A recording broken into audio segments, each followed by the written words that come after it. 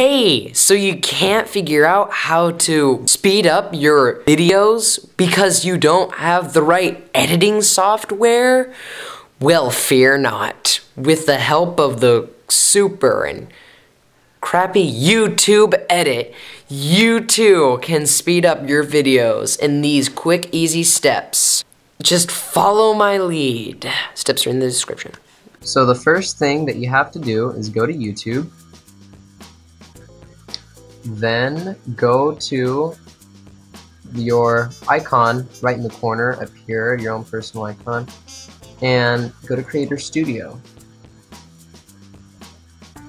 Once you get to Creator Studio, go to Create down here, Video Editor, and then find the video that you want to speed up. For me, it's going to be this video. File video that you want to be uploaded to become fast. So if you want to find a specific part in your video that you want to be sped up, all you have to do is just cut that scene in the video from video editor and remove and if you want, you can remove the scenes that you don't want in your video.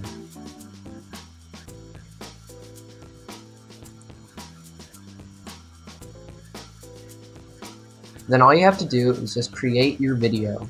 Publish it and make sure that it's on private so that no one can see your video.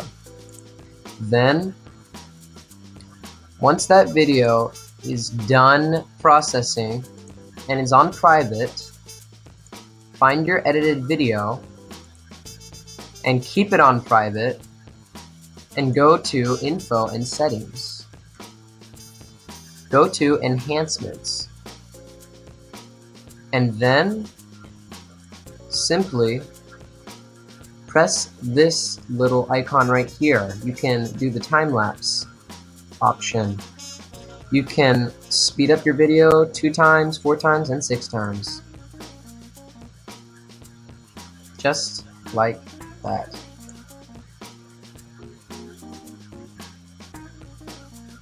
You can preview the original video or preview the video that you're editing already. Then save, and that is just how you do it. Okay guys, today I'm gonna be showing you how to fold laundry. Let's do it. Alright, so here you go.